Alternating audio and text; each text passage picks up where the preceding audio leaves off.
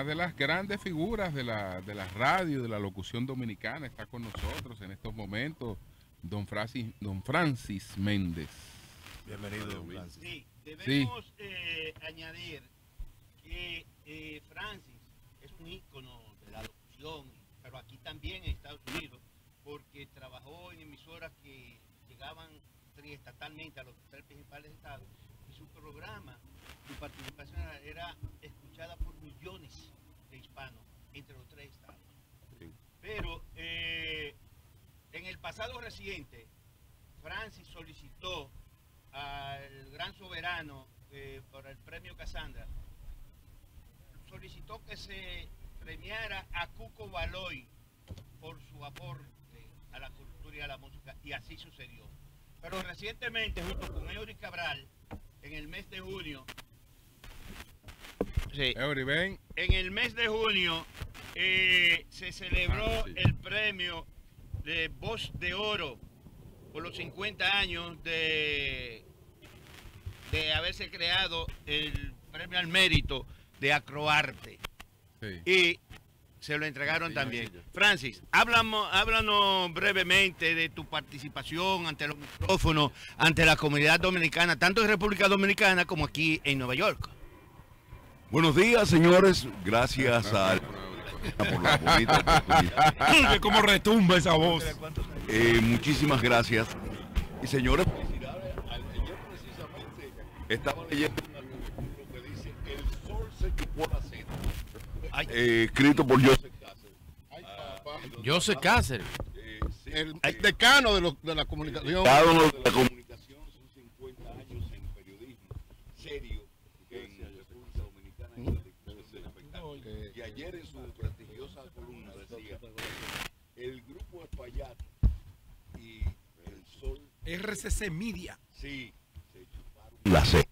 Eh, Eso salió en el Nacional, ¿verdad? en todas partes, en to- eh, él tiene su propio blog, eh, tiene el Nacional, que es la- Uno de los blogs más leídos desde hace tiempo. que nació el día eh, 3 de junio, de julio del año 1973.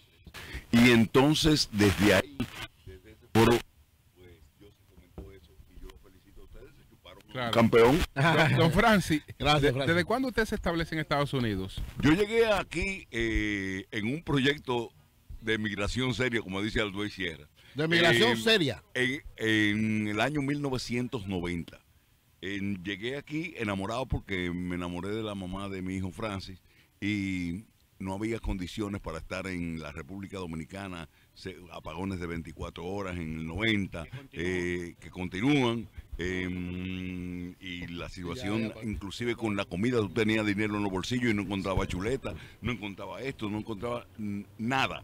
Una carestía y de, de, de de los bienes de consumo. Entonces decidí venir aquí a Estados Unidos en el año 1990 y aquí estamos en un proyecto de migración serio, porque ya en el 90 dijimos, yo me voy de retirada para Nueva York. Como muchos se van de retirada para allá, yo estoy de retirada aquí porque adoro a esta ciudad hermosa que me acogió con tanto cariño y que me dio tantos éxitos. ¿Y cómo, cómo logró, cómo logró, además de su calidad, pero usted sabe que eh, la calidad, eh, las oportunidades y el hecho de que usted viniera... La calidad República requiere un padrino. Es- es- exactamente. Entonces, ¿cómo- ¿cómo, cómo usted va...? Y, eh, bueno, aquí cuando llegué a, a Nueva York, eh, eh, trabajé eh, como locutor en algunos proyectitos, eh, grabando comerciales y esas cosas, porque venía de ganar varios premios micrófonos de oro en República Dominicana como voz comercial. Y comencé a hacer esas cosas. Y gracias a Luis Antonio Valera, que un día me acerqué a Univisión 41 porque yo tengo el trabajo de, promotor de discos también y andaban promoviendo un LP de Anthony Ríos que se llamaba, eh, el disco se llamaba Como Ayer.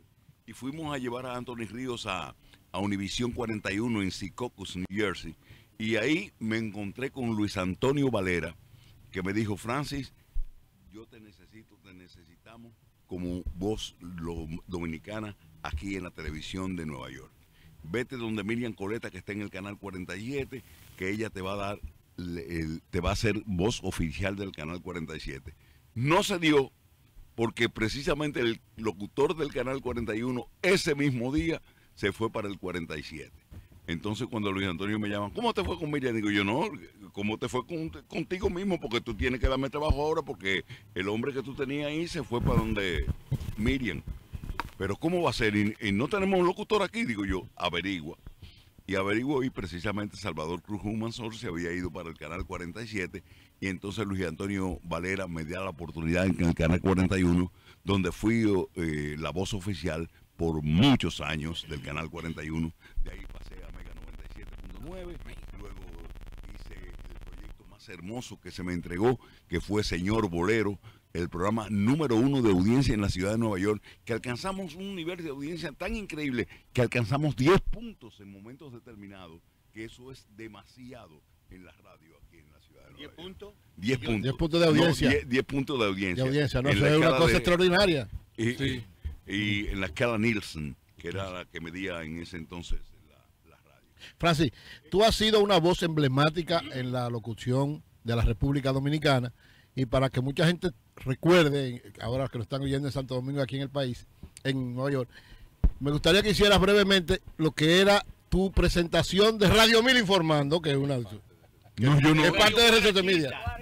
Yo, yo en Radio Mil nunca estuve. Radio Lamentablemente. Fíjate que esa fue mi norte. Ese, cuando yo Ah, tenía Radio 10 Guarachita años. también. Ah, oh. No, no, ahí fue No, ahí fue. Yo nu- nunca trabajé en Radio Mil. Quise, tuve ese deseo. Ah, no entraste a Radio Mil nunca tampoco. No, no, no, no, no. Yo llegué de Jarabacoa, que se reyeron en Jarabacoa cuando yo dije que yo iba a ser locutor de Radio Guarachita. Y me dijeron, tú eres loco. De Radio Guarachita. que El oficial, trabajar- locutor oficial. eh, que tú vas a trabajar en Radio Guarachita, tú estás loco. En esa emisora trabajan estrellas, digo yo. ¿Y yo qué soy? Exacto. Y llegué precisamente a Radio Guarachita buscando trabajo y comencé como un simple locutor el día 15 de diciembre del año 1969 y llegué hasta la posición más alta en esa estación que fue un, un puesto que Radamés Aracena creó para mí que se llamaba supervisor de la emisora porque la dirección él no se la daba a nadie. Radamés nació y fue Radio Guarachita nació con un director y murió con un director. Me dice, Radamés me dice Aracena. Antonio Paya que tanto Radio Guarachita como Radio Mil Informando, las dos forman parte de RCC Media ahora. Oh. Las dos emisoras. Ajá. Oh, que forman parte de- Del grupo Actualmente, RCC Media. actualmente, RCC. Media. No, imagínate, usted- ustedes están chupando. No, no, no, Antonio, ya debe. ¿Eh?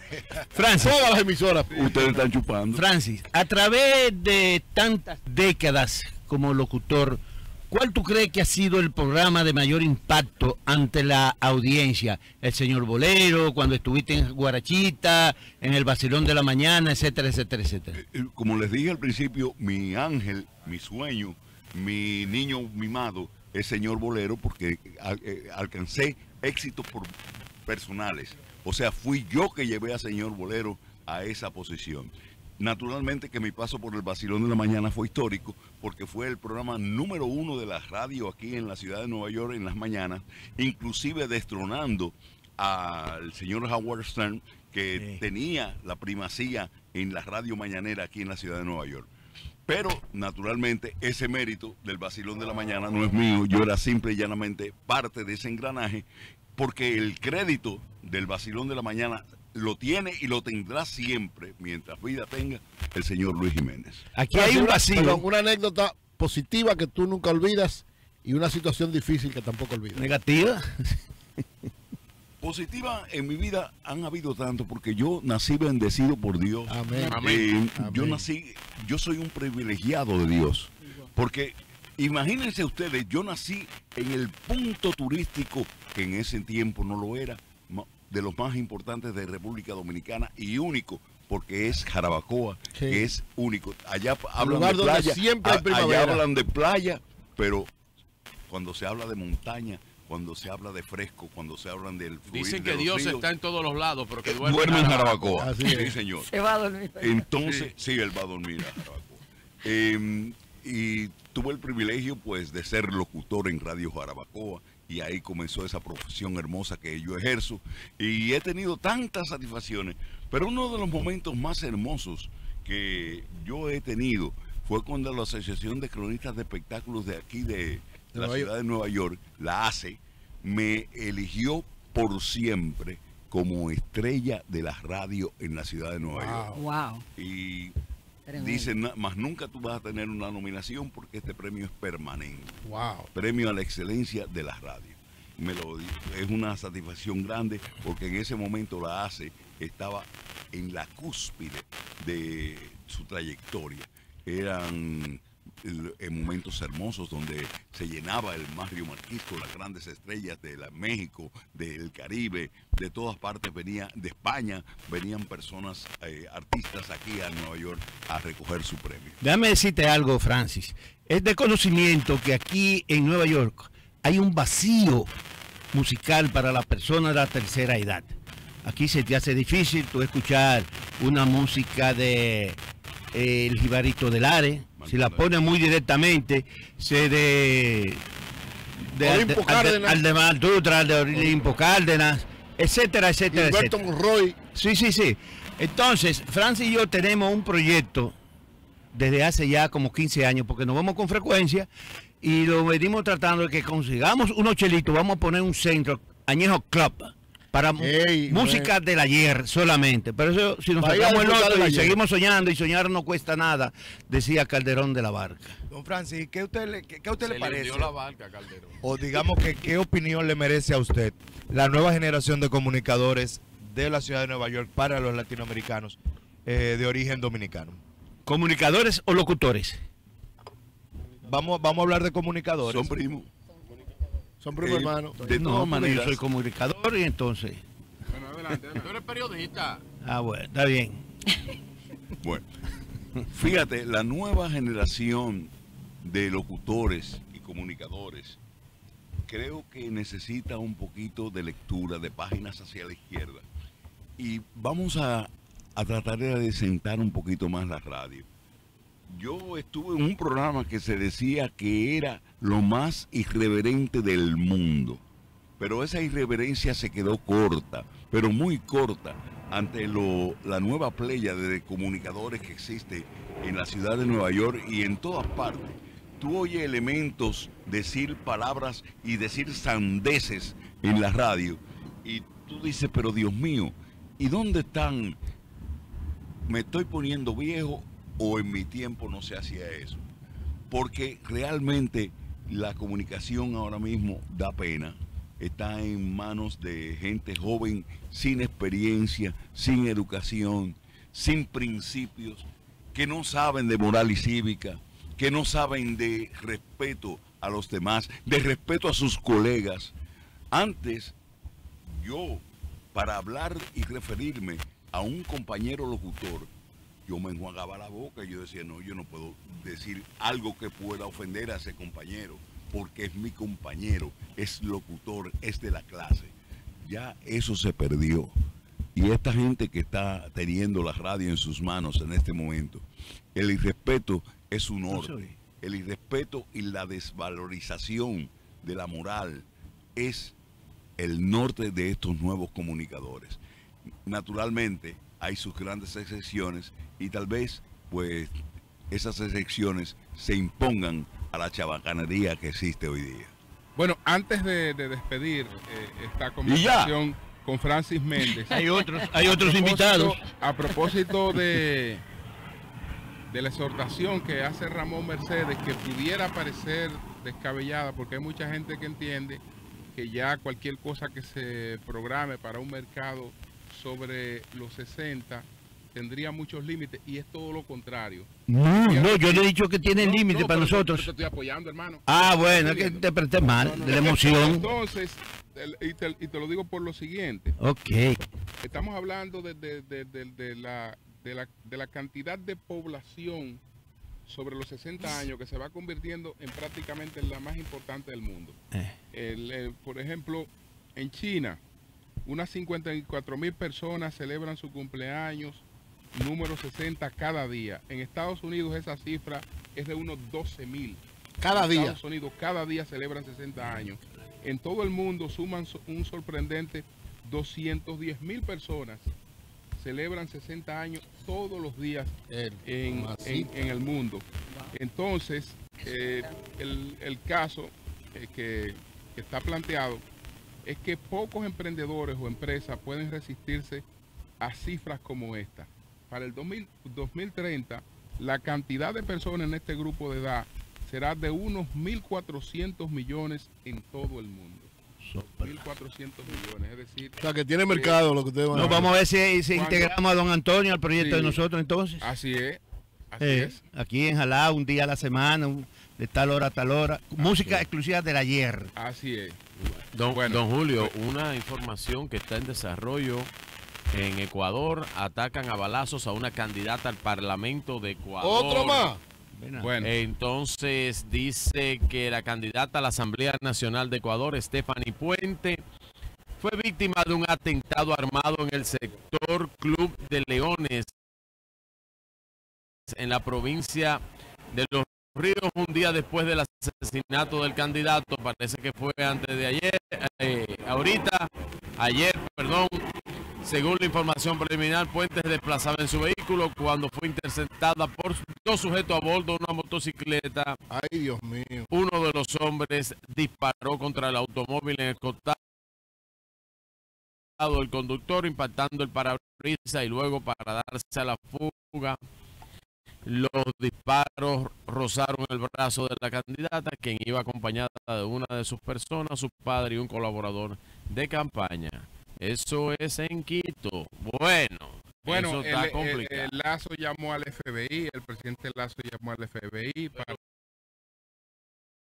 para integrarlo a la investigación del caso de Villavicencio. Entonces, el, el FBI va a auxiliar esa investigación.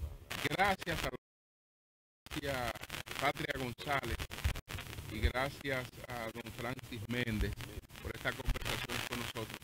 Vamos ahora a hacer una pausa que antes de la pausa, retornamos en breve. a- antes de la pausa, permíteme anunciarle a los amantes del teatro en República Dominicana que Augusto Feria está presentando desde ayer jueves en la sala Ravelo del Teatro Nacional la fiesta del Chivo. La fiesta del Chivo Ah, de Mario. de Mario Vargas Llosa. Eh, todas las funciones se vendieron y se abrió una función